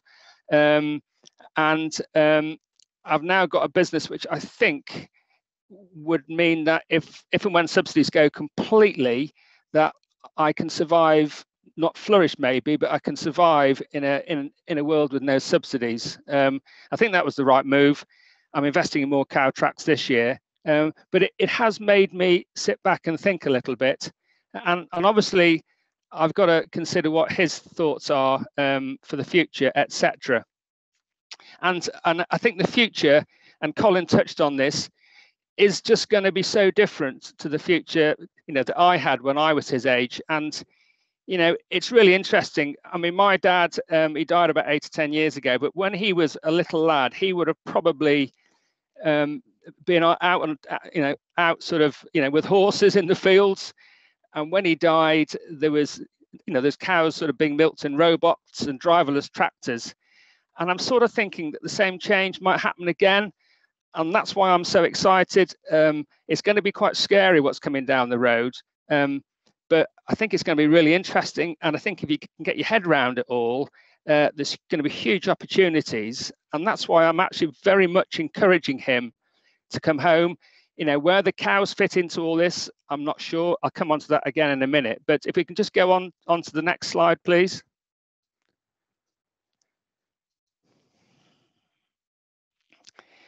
I think I think sort of central to this is, um, and this is what I picked up on my Nuffield scholarship, is that in the next generation are, are you know they're a different breed. Um, they're a different breed than perhaps any other breed that's come through, um, and they're all of these things. You know, they're overconfident, they're impatient, they're you know they're more streetwise, they want instant success. You know, they're competitive, they're definitely mature earlier, they're definitely better educated. But I think the big one is the one on the left, is that they work to live, not live to work. I think um, I don't think that they're going to come. He's going to come home, or anybody of his age, and perhaps work the hours that perhaps we worked when we were his age and when we came back home. You know, they want to sort of live life, um, that they don't want to be tied to the back end of a cow. Um, and I think for me that that's quite important about how how things progress. I mean, I'm 56. When he comes back, he's probably, I'm going to be sort of in my late 50s. So I'm sort of going to be thinking about slowing down, which, you know, perhaps means he'll have have control, if indeed he does come back, of, of course, he'll have control um, at a young age, if you like. They always say the best farmers are the ones that have control at an early age. Um, and I'm, I'm just hoping to take more of a backseat role. My plans never come to fruition, I hasten to add. But um, but I just I, I just think unless you understand them um, and their traits and what they want out of life, it's very difficult to accommodate them. Um, and this and this and this work to live, not live to work, I think is crucial. I, th- I think you know they're not as money driven. Um, you know, most of these kids have had more in their lives than most of us had when we were their age. You know, we've spoilt them, if you like. Um, you know, we've given them too much. You know, I, I worry, are they hungry enough? And my wife thinks they are. um, I'm not so sure, but but I guess we'll have to we'll have to wait and see. If you can just go on on one slide again, please. And and you know, I, I'm I'm I'm just thinking about the world, you know, that he's going to come home to um, you know, there's and there's I think there's going to be an agricultural revolution. I know it's I know it's talked about. There's opportunities and there's threats, and I think one of the beauties of being an Arla farmer is that is that Arla are very much on this. Um, as I said before, you know, I think we're on the front foot, and a lot of our members uh, they expect Arla to advise and guide. Um, and and certainly we're you know we're listening a lot um, we're picking up as much as we can, and we're sort of you know speaking to some you know some pretty um, strong experts in various fields. Um, you know we have to um, you know we have to listen to our members to sort of you know see and understand what they want. Um, and I think Arla is good at doing this. And I think I just want to spend the last sort of 10 minutes or so uh, just looking at the future because there are opportunities and there are threats and but i'm super excited as i said earlier about the opportunities but let's let's get the negatives out the way first and and and start thinking um, about the threats because you know let's be honest they are you know they are there um, and i'm going to start with the vegan challenge um, and you know and and it's real uh, you know you know there's no doubt about it it's probably not as big as we think it is and our ceo you know he will he will say well hang on you know there's any vegans north of the alps in europe on the east and west coasts of the US and in Australia and New Zealand. Everywhere else around the world, they pretty much don't exist. And we get so hung up um, on what they think, on what they say, and what they do. I was very fortunate um, as, a, as a new Arla board member. I did a bit of a bit of a tour around some of our international markets, and I was uh, in Lebanon, where we've got quite a big business uh, with a trading partner, and we are having dinner with him. And it was at the time of, um, of Brexit, and he said, he said, What's the big challenge in the UK and Europe apart from Brexit? And I said, It's got to be the vegan challenge. And he said, he said, What's this word vegan? And I said, I said, it, um, it's people that don't eat meat or drink milk and eat dairy. He said, How can they survive? Surely they will die. He'd never actually heard of the word vegan. And this was, what, two and a half, three years ago. So I don't think it's going to be as big a threat um, as we think it is. Um, and we've you know we've gotten all all all this issues and all this all all this stress and challenge from the plant-based drinks that are sort of you know taking our our our liquid milk sales. And you know they are you know it is it is, slow it, it is small numbers but it's in you know but it is in quite high growth. And, and the reality is that some of these plant drinks they're devoid of any nutrition whatsoever. Some of them have got 2% solids in maybe 1% barley or oats or almonds, and 1% emulsifiers that make them white. Uh, the carbon cost of, of some of them, particularly the almond milk, is, absolutely, is absolutely astronomical, and they taste like shit. Um, and here we are worried about them. Uh, and and I think it's important also, you know, to note that in the US at the moment, um, there's been vegans over there perhaps longer than there has in in Europe. There's some nutritionists saying to their 50 plus year old vegan clients that nutritionally, when you get older, it's virtually impossible to have a healthy, balanced diet and keep it vegan. And they're actually recommending that some of these some of these vegans actually start eating dairy protein at the least, the quality protein that's in dairy. Uh, so you know, it is a challenge, and I'm not sort of, and, and you know, and, and, and I'm not saying it isn't, but we do get hung up on them. And then, and then, and then the next challenge um, is this industrial meat and milk manufactured in a vat. In fact, Arla Foods have got a very small stake in one of these companies just so that we know what's going on. Um, my son Ed, he's at Reading, as I said earlier, one of his lecturers has told him that milk's got 20 years because it'll all be produced in a um, in a stainless steel vat on an industrial estate somewhere. that's just complete rubbish. That will never happen. It will be there, and and you know, and it might get more popular. It's very very expensive um, to produce. There's big question marks over the carbon cost of producing these products, uh, and also the quality protein. We don't think the quality of protein is there. So I don't know. There's a lot of money going into it, um, but it could just be um, be a fad. I'm just conscious of time. Um, um, actually, Charlie did mention, and he did ask me to mention mention mention Brexit. This was actually, um, you know, before Christmas. He asked me to speak, and obviously Brexit was uh, was a big thing. You, know, Brexit obviously, you know, it's you know, it's nowhere near as big an issue as we thought it would be. Certainly from an Arla perspective, we, we, were very, very worried about a hard Brexit, and we were and we were campaigning and lobbying all across Europe, all all European politicians it would have been a disaster for us. I think it would have been a disaster for the UK economy. Um, so it's massively, massively, massively better than it could be. But there are still problems with Brexit, and I know you in Northern Ireland, you know, are feeling it. Um, you know, we actually sell a lot of our products, uh, you, know, you know, over the water with you. There are issues getting products in, um, and and a lot of the restrictions on on the borders haven't come into play yet. Um, you know, they've given us a bit of a free rein, if you like, until the 1st of April. More restrictions will come in then. And then I think again on the 1st of July. Um, so, you know, there are, I think there are a few problems coming down the line. Yeah, the non-tariff barriers, the, you know, the border checks, etc. They come at a cost. Arla imports a lot of products out of Europe into the UK, out of the UK into Europe, you know, so we are in the thick of this. Um, it could cost us 10 million quid, um, you know, in terms of those of those borders um, checks, etc. Um, I'll not go through all of these um, because, you know, in the interest of time, but just to touch on carbon tax. Um, this is a this is a bit of an unknown. Um, there's a lot of talk. the government seems to be very hesitant. things are moving quite slowly, but it's a potentially big one. Uh, because if it does come in, it could hit um, milk and dairy quite hard. Again, it's a complete unknown.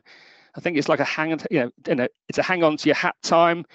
If it did come in, there would be, I think, big changes very quickly. But it's certainly, uh, you know, it's certainly one that we are watching.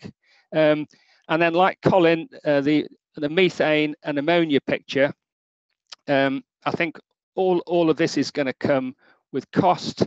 We know that in Europe, um, there's lots of talk um, about covering slurry stores, about urine and feces being mixed on uh, on yards, about fertilizer usage, etc., etc. You know, one of the ways to reduce methane emissions is to have less cows, and that's why I put that that there. And it's a debate that hasn't really started yet. I mean, you may have heard that Royal Friesland Campina, they've actually now put a quota on their members' production. There's absolutely no talk of that in Arla whatsoever. Um, but um, a consultant said to me recently that actually, you know, the you know the lowest 10% um, performers in your in your in your herd are only 65% of the average. So there is a case for getting rid of 10% of your cows and actually having a much more efficient herd, um, and in some cases, I'm led to believe, increased profitability. Um, but it, it's something I think that needs to be considered. So, you know, less cows, less methane, global cooling. That's the picture. But it certainly, I wouldn't want you to think that Arla's thinking along those lines at all. Obviously, it's something that we will we will discuss. Um, but um, I didn't, you know. But I think they're all the sort of negatives out the way. Let's, you know, let's move on and finish up with the positives because these are the sort of, you know, this is the world that Ed's my son's going to be moving into. Um, and um, I think I think you know the exciting part about this is the bottom right where we says where we say lowering carbon cost per litre linked to more productive farms. And the good thing is that it is statistically true that the farms with the lowest carbon cost per litre tend to have the highest production costs. Uh, and and that makes sense. And it's good news for Colin because you know Colin's figures suggest they're the lowest in the world.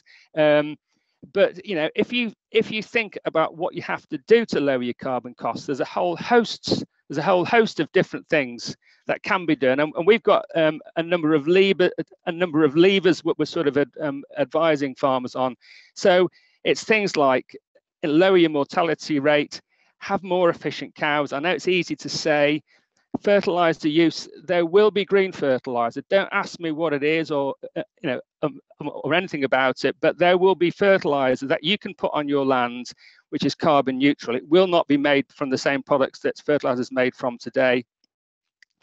Um, I think I think breeding um, and genomics will come onto on the on on on onto the next slide, but the, but I think one of the interesting ones, the really interesting ones, is that as on the top left, farming will be the solution, not the problem. And that will have to be the case. Uh, so unless Elon Musk comes out with some some some mega mega suction device that sucks all the carbon out of the air and dumps it into massive big glass tanks underground, which let's face it is unlikely to ever happen. Farms have got to be part of the solution. And this is where the carbon credits and the carbon sequestration comes in. And we're already seeing this in its infancy where organizations are paying farmers for their carbon credits. Um, now, this is a very unregulated market. I mean, in Australia, in a, and Harper might know more about this, Microsoft are buying carbon credits um, off Wilmot Farms, I think is in New South Wales. Microsoft are also buying carbon credits off, um, off farms in the US. Um, and, uh, and, and as a company, I'll I'll need to be involved with this very quickly. It's completely unregulated. And we have to be very careful here because what we'll find is some of our members may be approached by Tom, Dick, and Harry saying, We'll pay you X pounds for your carbon credits, whatever those carbon credits might be. Uh, and that farmer does a sort of 10 year deal, and then that's them gone for 10 years. Um, we believe there's big potential here because the whole carbon sequestration piece, it is for real. There's huge amounts of work to be done on it yet. Um, and on the back of that, we think that there will be carbon credits which farmers will be able to sell. Um, if you go if you go down below carbon credits, I'm saying muck an, ass, an asset, not a headache. Again, there is a chance that muck will be exported off farms to central biogas plants. We're seeing this in the US. Um, we're seeing it in, in other parts of the world. The problem with with cow muck um, as a digest, um, you know, as a, um, as a feedstock for these digesters is on its own, it's no good. It's already been digested once. It has to be mixed with something else. Um, so the farmer, in theory, could have money for his milk. He could have money for his carbon, he could have money for his muck, but that will be a very, very small, small amount. I mean, it may be, you know, it may be negative or or or zero, but at least it, you know, he hasn't got the um, and the cost of storing it. He'll he'll get the digestate back, which will have all the nutrients in it. Um, and and I think I think you know you know kids like Ed have got this juggling act. You know, I mean, my advice to him will be, look, you've got to keep the cows for 20 years because the cows are profitable you know, the cows will make you money. If in if in 15, 20 years time you're making more money by selling carbon credits and growing X, Y, and Z, the Germans tell me that if you plant sugar beans, now I've never heard of sugar beans, and it might just be some sort of a wind up. They say that is the best carbon sequestration crop after a rainforest. Now, I don't know if that's true or not. I've never heard of sugar beans, but let's just say that was semi-true, or there was a crop which could be planted, and it was a great carbon sequester and it paid to have your carbon credits taken off by Microsoft or by British Airways or whoever, you know, you're going to look at it. And, and all on all these things will come into play. And moving to the left-hand side, where we sort of, you know, um, um, about methane and CO2, I'm saying the science will win here. And this is exactly what Colin was saying. At the moment, methane, nitrous oxide, and carbon, they're all lumped together. And in theory, methane's 32 times um, worse in terms of greenhouse gas effects than carbon. But methane only stays up there for about 30 years, whereas carbon from burning fossil fuel stays up there for thousands and thousands of years. So how can it be 30 times, 32 times worse if it's only up there, you know, for a fraction of the time that carbon from fossil fuels is? And the science will win. The science will win on this one. It'll win on the carbon sequestration piece. Then we get to the whole issue, and in, and you may have heard of this as a product called biochar. This is a long way off, where you actually burn um, timber or um, or green material in a in a in a controlled environment. They use the heat and the power for the burning process to sort of you know run motors and sell it as energy. The end product's biochar, which is carbon that's locked up for thousands of years. You can actually buy it in the garden centre today, and it's a soil conditioner. So you put the carbon back in the ground in a stable condition where it where it's where, where you, know, where it's locked up for thousands of years. Sounds too good to be true. It probably is, but it's certainly again something that you know is being looked at and, and may potentially be the solution. Just going on one more slide. Um, and I'm just going to finish now, just you know, just with a with, with a few more um, positives. Um, and I think I think you know this is this is back to milk and dairy. You know, the population is growing. You know, there are middle classes, and I'm not saying in Europe, in the population in Europe is not growing. But if you go into Africa and Southeast Asia, and the population, you know, is really growing. People are now becoming more middle class. They can afford more products, and certainly from an Arla perspective, dairy products in these parts of the world are in huge, huge demand. Certainly West Africa, Nigeria, they'll have 400 million, they'll have 400 million people by I think 2050. Um, I mean, you've heard on the GDT this this week that um, you know the in, and the markets are up again. It's currently Chinese New Year. The Chinese don't normally buy in the holiday period. They're buying huge chunks of dairy products, and the reason is the analysts are saying is they believe dairy is good to fight off COVID. So these people, despite the vegans in the West, they can't get enough of milk and dairy. And the population is growing, middle classes are growing. And I think also to mention that the population globally is aging. And as I said before, with the nutritionists and, and, their, and their clients in New York, as you get older, you need quality protein in your diet. That, that, that is a proven fact. Um, in Ireland, we had a talk a few months ago, sorry, last year. Um, they're saying that if you're born today, there's a 50% chance that you're going to live until you're 103 because the population is aging and life expectancy is growing probably by about 10 years every generation. Um, if you're born today, you're likely to know your great great grandchildren. Older people need quality protein, and there's going to be one hell of a lot of older people on the planet. In Japan, the most aged population in the world, there's, there's more nappies sold to over 70 year olds than there is to under five years old. And that, and that trend is continuing. So there will be huge demand um, for milk and dairy.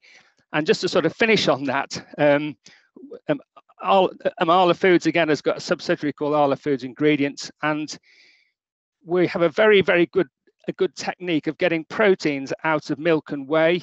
There's about 250 proteins in milk. Not all of them have been isolated. There's one that's been isolated recently that has been proven to improve brain growth in children, in babies. Um, and of course, there is one manufacturer, of Baby Foods, who puts that additional protein in his product and sells it accordingly. They've also isolated one recently that slows the aging process.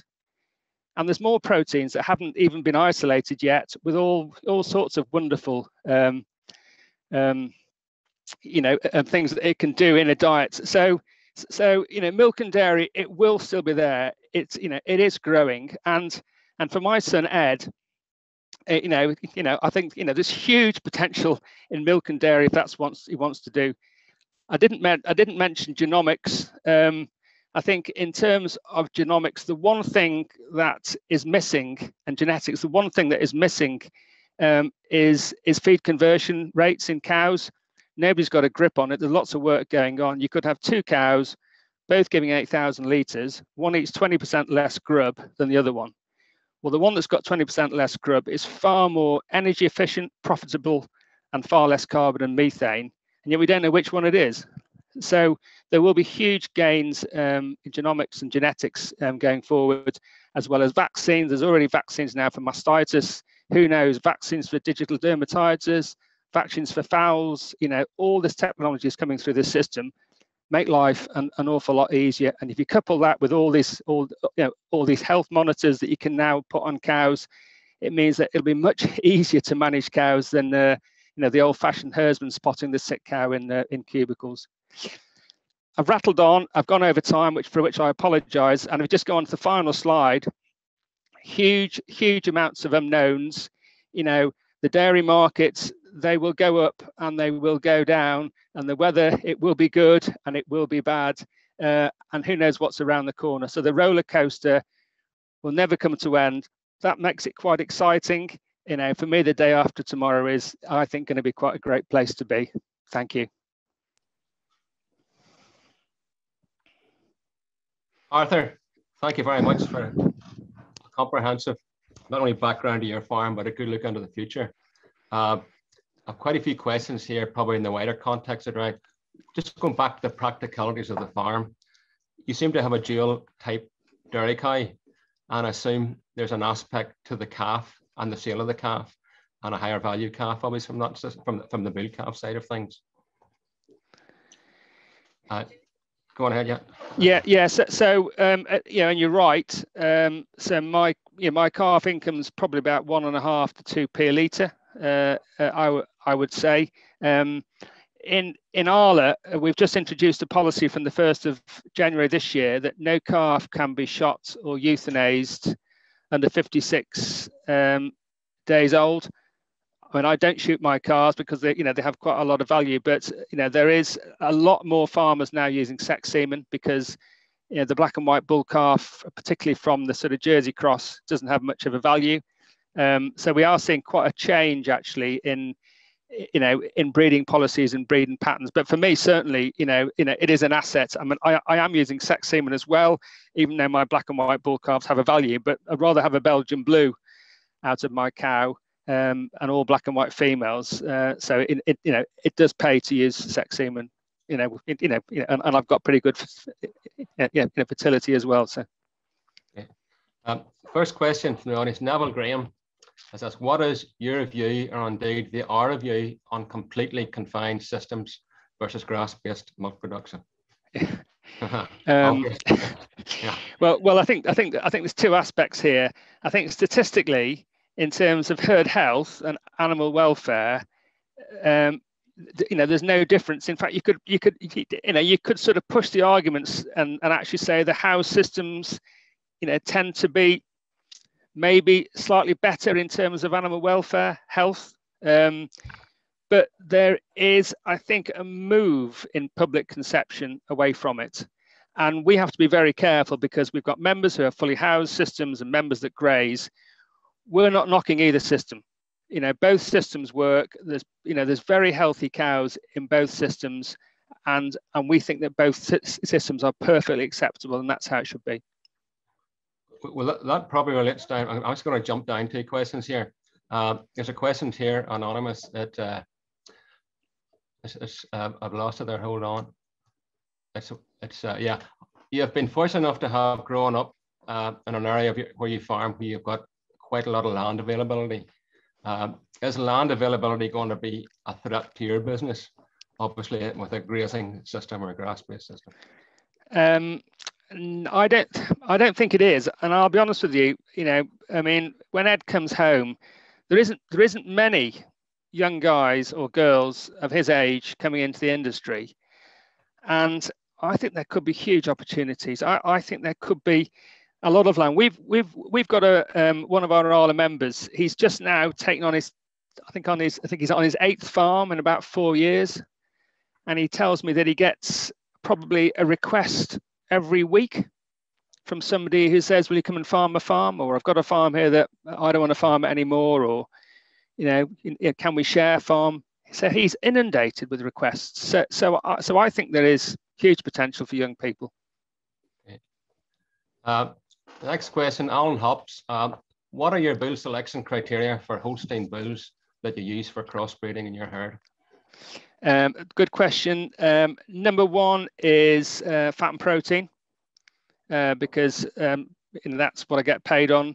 Um, number two, I think, is um, udders, because um, even though I'm choosing the best Monty uddered bulls I can find, uh, I want to protect them. And number three is fertility index, because again, I've, I've, I've bred that in with a cross breeding and I don't want to lose it by the other breeds having said that, Charlie, I think I think the Holstein breed in itself has moved on, uh, and you know, there's some people saying to me now, actually, you probably, you know, if you wanted to, could do away with the crossbreeding, you'd probably find enough choice uh, within the Holstein breed to meet your requirements going forward, and, and that may be the case. Okay. Um, next question. Uh, this is a bit controversial one. This is from a friend of mine, Andrew Crawford. Maybe this is not the right question you asked. What gives you better return on your farm, your your farm or your on-farm investments? Your off-farm investments, or your on-farm investments? 100% the farm investments. I mean, you know, I, I mean, my investments are cows and machinery, and you know, and a few sheds. Probably 25% return. No way can I get 25% return off farm. The difference is investments off farm, you hand the money over and there's no work involved. Fair enough. Uh, and, and you're in a situation, obviously, Arthur, where you don't own land. You haven't got a big investment in land at the minute. It's it's all machinery, cows, and buildings, obviously. Yeah. Okay. Right. Next question, John Martin. In relation to carbon credits, is it not more likely that farms will require their sequestration to offset their own production to meet net zero targets? Well, yeah, I mean, I know. I mean, yeah, I mean, I mean, Arla, um, Arla has got a target as you know, as as New Zealand Fonterra to be carbon neutral by 2050. Um, so Arla and the farmers are all as one, if you like. So um, if if if if the farmer takes the credits, then Arla's got to offset um, you know their carbon somewhere else. But 83% of the carbon cost of producing a litre of milk comes from farm. So you know, Arla and factories, and same with Fonterra, they can do all the, you know, all they like with packaging, with logistics, with factories. The farm is where the majority of the carbon cost is, and that's why there's such huge focus on on getting carbon cost down on farm. And it's it isn't easy, as I said earlier on, and the technology hasn't even been invented yet. I don't think to get us down to zero, but that's where we'll end up. Okay, okay. I think this is the last question, um, Arthur, uh, from Greg Somerville what did you change about your staff management after your Nuffield scholarship trip? And will that need to change again with a new generation with different outlooks on life, as you mentioned? Yeah. yeah. Um, I I didn't change too much, if truth be known. Um, you know, I um, you know, I had some good lads, um, and um, what I'm you know, what I'm finding with with staff now is that is that there is some good, keen young lads out there who, who are really up for it. Um, but the really experienced qualified herdsmen who spot the problems before they happen are very hard to come by. And that's what I was saying before that, you know, into the future, you know, the whole use of, um, of vaccines and activity monitors and all these other, other means of keeping cows healthy will become more important because, you know, the experienced guys just aren't going to be there in the future, would be my view. Um, okay, and that was a similar theme in New Zealand. You know, skilled labour seems to be becoming a problem right across the board, as it is in Northern Ireland as our herds get bigger. Uh, yeah, a couple yeah. more questions to come on there. We'll do a couple more, and we'll probably wrap it up there, Arthur. The first one: Do you think that Arla would accept the return on investment that farmers have to operate at? How do we get equality along the supply chain? I'm not sure what way that's aimed. Uh, yeah, well, I mean, Arla, Arla is a, um, is a farmer-owned cooperative, and it's on this planet for one reason and one reason alone, and that is to return the you know the highest possible milk back to the member for, for milk price. What I would say is that statistically, the dairy companies that invest the most money tend to pay the highest milk price. So there's a correlation between investments in milk and processing um, and, and milk price and a, a, lot of people can't get their heads around that, um, but it's a fact. Yeah, yeah. Okay, uh, I think uh, there's another one coming, maybe two more here. I will, I will let that go. Uh, Arthur from Allen Hops, your pregnancy rate is 28%. Do you know the breakdown there of conception rate and sex semen and heat detection rate? And are you using heat detection aids? I, I talked to you about this earlier, Arthur. Yeah, yeah I am. Uh, I'm, I'm, I'm currently using Heatime, uh, and I'm just about actually to move on to their um, their updated system. I'm a, I'm a little bit behind the curve because um, it's quite old technology now. The rumination collars. Uh, I've just got the activity monitors, so I am I am moving on. Uh, well, I'm just about to order a set actually.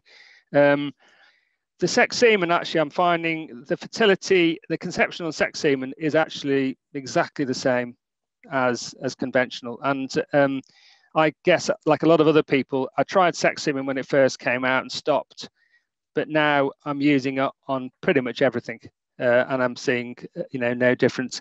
And fertility index, you know, conception rates sort of tend to be 40, 45%. Um, our heat detection rates sort of maybe about 65, 70, 75%. You know, it varies from time, time of year, yeah. Okay, La last question of the night. Uh, what is your average land rental charge? I know that makes it for a bit of a cost.